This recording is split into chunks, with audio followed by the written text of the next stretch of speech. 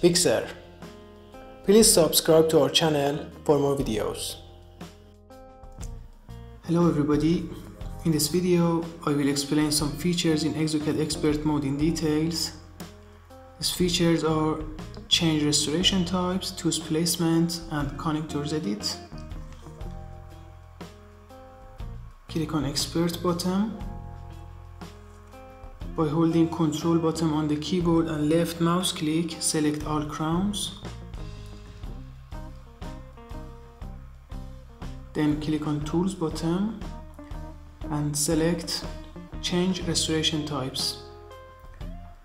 By clicking on Yes button, the coping will be changed to full anatomic crown. Reverse action is also possible if the crowns were full anatomic. They could be changed to copings here.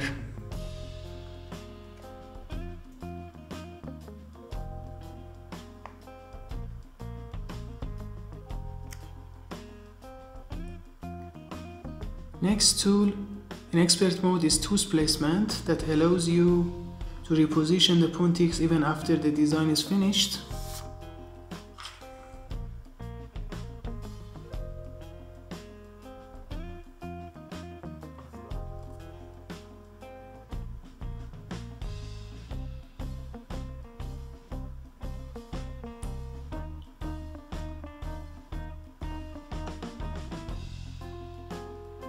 Another useful feature in expert mode allows you to add connectors to crowns and make them a bridge even if the connectors are not defined in Exocad DB.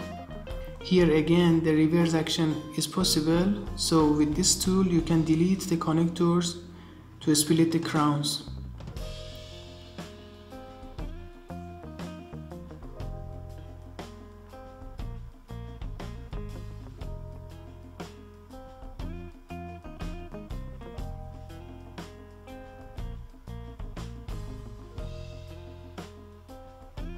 Finally, in Exocad Expert mode, you can change the crown's cement gap